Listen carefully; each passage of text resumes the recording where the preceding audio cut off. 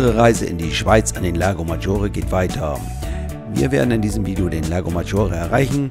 Was wir dort erlebt haben, wie es dort war, darüber möchte ich in diesem Video berichten. Herzlich willkommen dazu.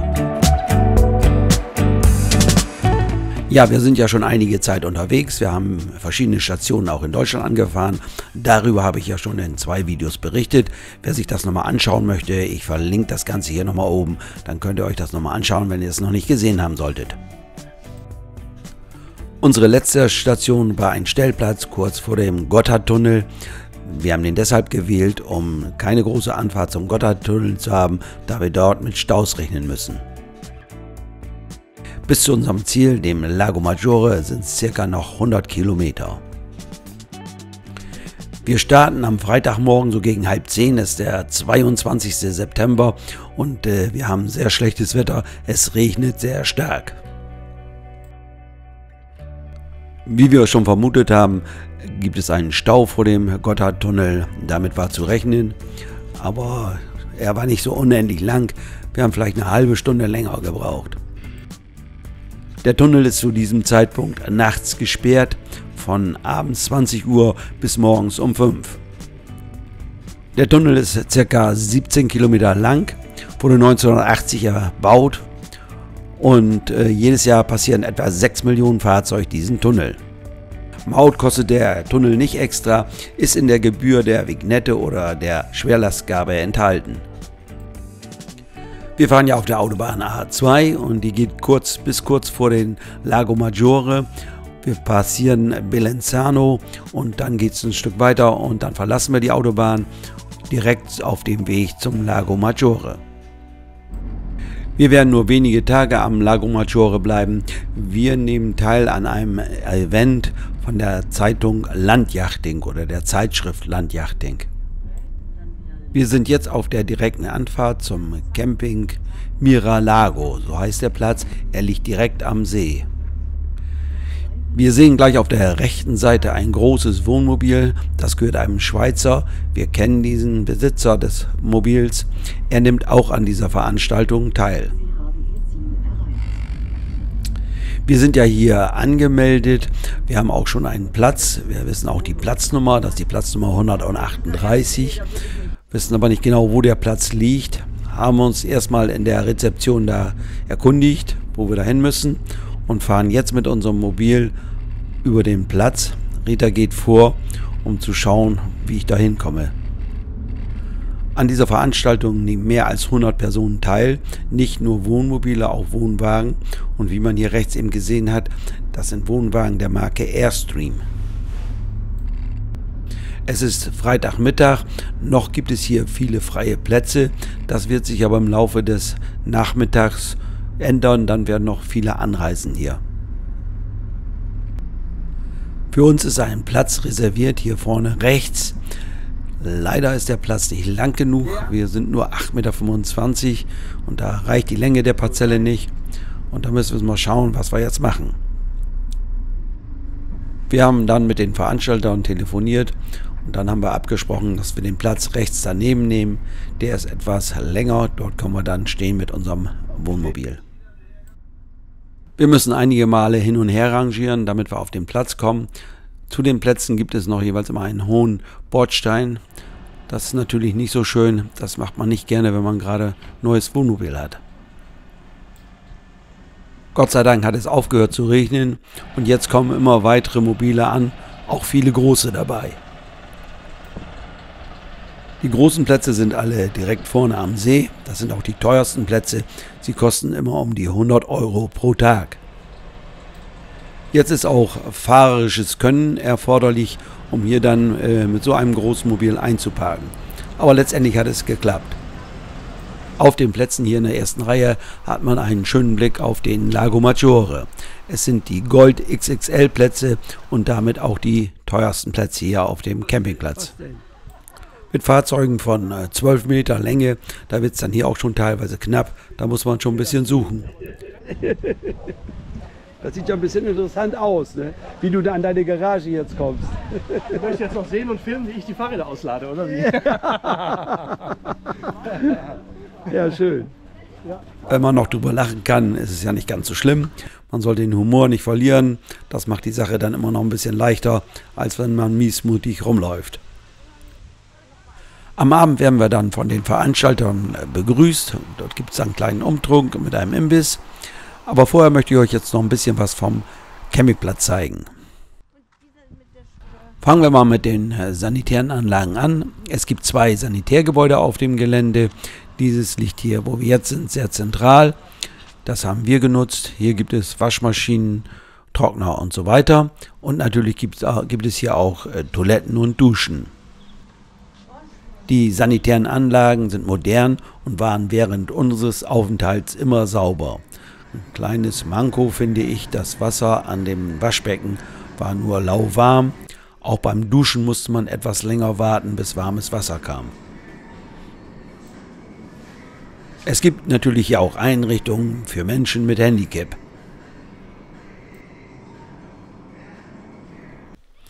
Strom gibt es hier natürlich auch an allen Plätzen. Es geht nach Verbrauch. Die teuren Plätze haben einen Frischwasseranschluss und auch einen Abwasseranschluss. Ich habe die Aufnahmen an verschiedenen Tagen gemacht also deshalb ist hier das Wetter wesentlich schöner als am ersten Tag. Wie man sieht, alles schöne Palmen, ein Sandstrand ist da mit direktem Zugang zum See. Das Wasser war jetzt um diese Zeit natürlich nicht mehr so warm, geschätzt so 15 Grad. Man sieht hier, es gibt so einen Badebereich, den kann man natürlich dann, wenn das Wetter entsprechend ist und das Wasser warm ist, nutzen.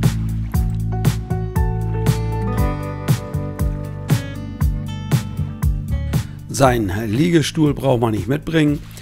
Da stehen hier einige, die kann man kostenlos nutzen.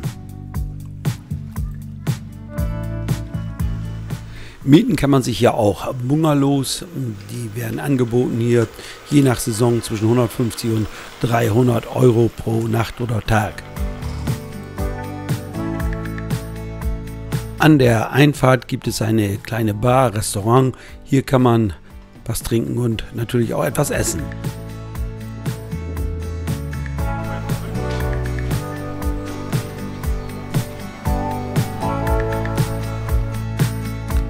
Schönen großen Pool gibt es, der ist beheizt. Er soll 26 Grad Wassertemperatur haben. Ich war nicht drin, aber ich denke, das wird stimmen.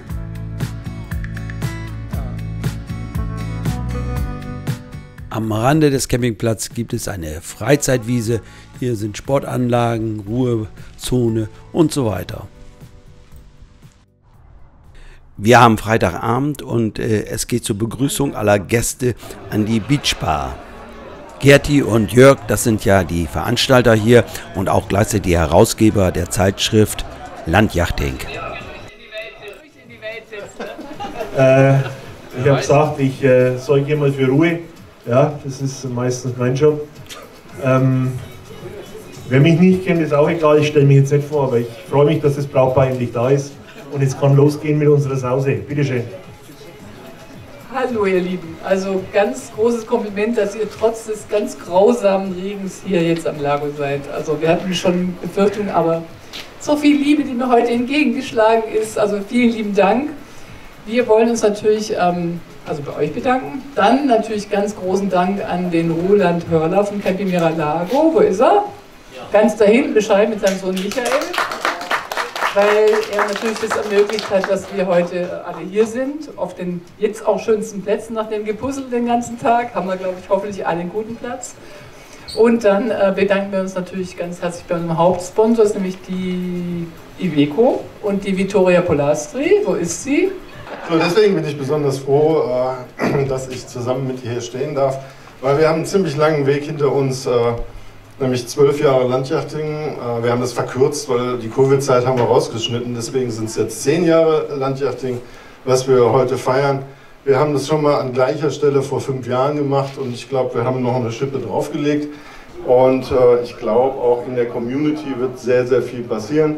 Ähm, und da freuen wir uns auf die nächsten fünf Jahre. Also, jetzt geht's los.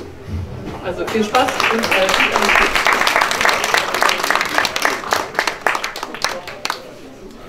Ich habe die Begrüßung etwas verkürzt und jetzt geht's weiter mit dem Flying Buffet von Herrn Bünzli.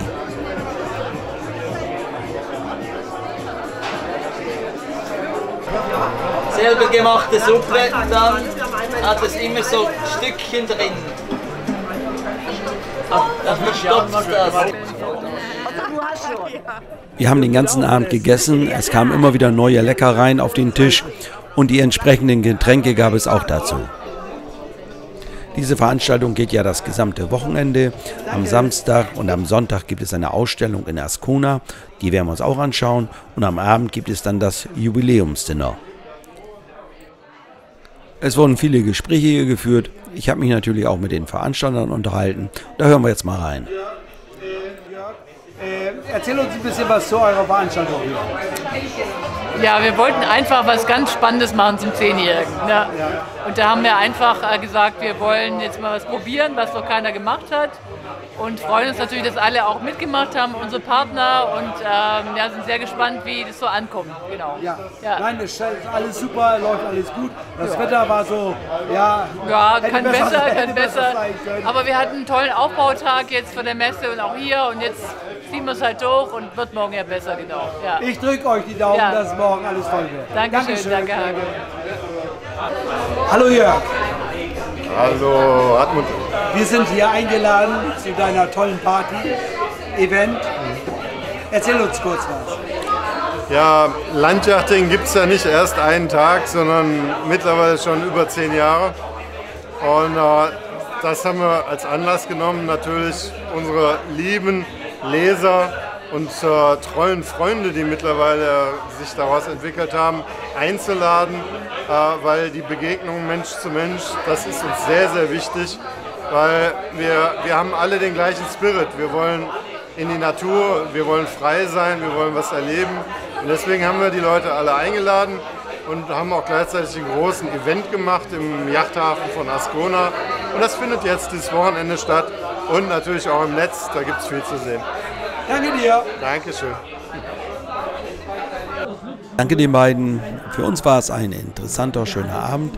Wir haben viele nette Gespräche geführt, haben äh, viele neue Camper kennengelernt. Es war rundherum eine schöne Geschichte. So gegen Mitternacht war für die meisten hier Schluss. Es ging zum Wohnmobil und damit zu Bett. Der nächste Morgen, das Wetter ist besser, wir laden die Fahrräder aus und es soll für uns nach Ascona hingehen. Dort ist die Ausstellung größerer Wohnmobile am Yachthafen. Es gibt einen äh, Fahrradweg dorthin, teilweise führt der direkt am See entlang.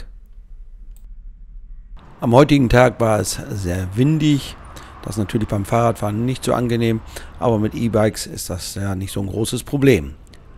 Man hat immer wieder die Möglichkeit, am See hier anzuhalten und einen Blick auf den gesamten Lago Maggiore hier zu werfen. Die Stadt Ascona ist eine kleine Stadt, die hat ca. 5500 Einwohner und gehört zum Kanton Tessin. Obwohl wir in der Schweiz sind, wird hier in Ascona überwiegend Italienisch gesprochen. Jetzt sind wir an der Promenade. Hier gibt es viele Bars, Cafés und Restaurants. Jetzt kommen wir am Yachthafen an und sehen die ersten Wohnmobile, die hier ausgestellt sind. In erster Linie sind es größere Wohnmobile, die hier ausgestellt sind.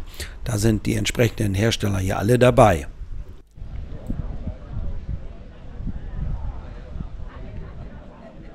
Auch der Hersteller von unserem Wohnmobil ist hier vertreten, die Firma Vario Mobil. Ich möchte jetzt hier nicht alle Details von Fahrzeugen zeigen. Ich lasse die Bilder einfach mal so laufen, damit ihr so einen kleinen Überblick bekommt, was dort so ausgestellt war.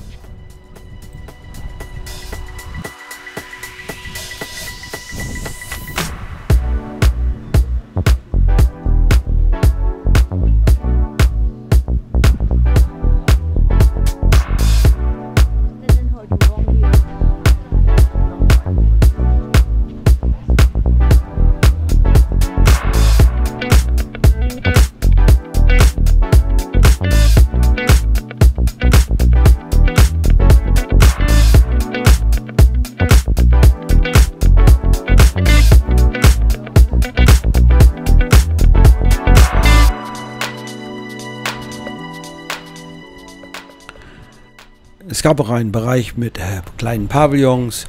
Hier waren in erster Linie Firmen mit Zubehörteilen und Produkten für das Wohnmobil. Da stand die Beratung im Vordergrund.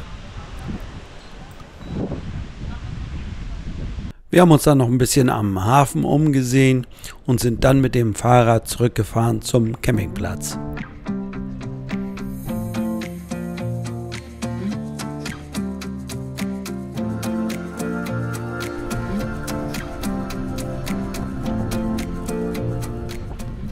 Zurück zum Campingplatz haben wir uns ein bisschen erholt, denn am Abend sollte es ja wieder losgehen und zwar auch wieder nach Ascona, dort zu einer Event-Location.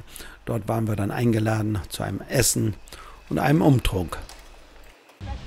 Wir sind dann mit einigen anderen Campern mit einem Taxi dorthin gefahren. Ja, so eine Taxitour, circa 10 Kilometer, kostet dann umgerechnet etwa 80 Euro. Wir haben uns die Kosten geteilt durch drei, so war das Ganze erträglich. Wir waren somit die ersten Gäste, die bei diesem Lokal angekommen sind und so hatten wir noch freie Platzauswahl. Das Lokal liegt direkt am See, also man hat je nachdem, wo man sitzt, immer einen freien Blick auf den See. So konnten wir in der Abendsonne noch ein Aperitif genießen, bevor es dann zum großen Essen losging.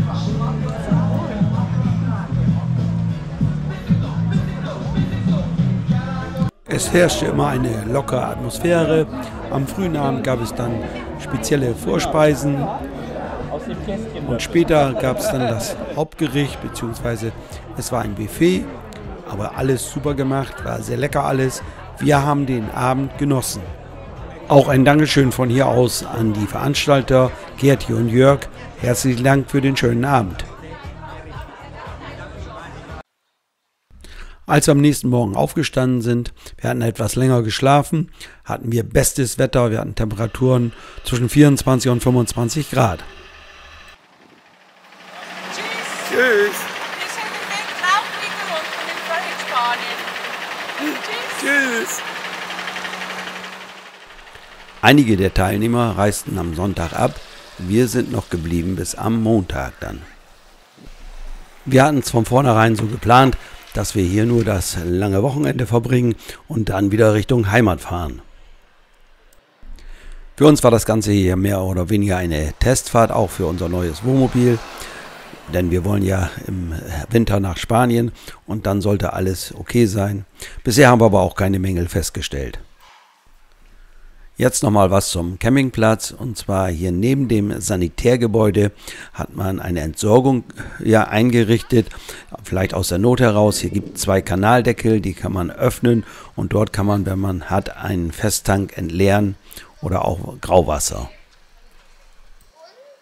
Der Campingplatz hat das ganze Jahr geöffnet. In den Wintermonaten ist natürlich auch erheblich preiswerter hier und die Temperaturen sollen auch noch sehr angenehm dann hier sein. Ich denke, man sollte in den Sommermonaten oder auch in der Nebensaison hier reservieren. In den Wintermonaten weiß ich nicht, wie es da aussieht, aber ich denke, ansonsten ist das besser hier zu reservieren. Am 25. September ging unsere Fahrt zurück nach Deutschland. Vielleicht ein kleines Fazit. Äh, die Schweiz ist ein schönes Land. Wir sind gerne mal wieder dort gewesen. Aber man muss natürlich wissen, alles hat dort seinen Preis. Aber man fährt ja nicht jedes Jahr oder vielleicht nicht mehrmals im Jahr dorthin. Und dann ist das alles kein Problem, denke ich. Wir haben noch einige Tage Zeit, bis wir wieder zu Hause sein müssen. Bis dahin wollen wir noch einige Plätze in Deutschland anfahren. Und danach, wenn wir dann wieder zu Hause sind, werden wir unseren ehemaligen Vario Star an die neuen Besitzer übergeben. Ich sage mal wieder Dankeschön fürs Zuschauen und bye bye bis zum nächsten Mal.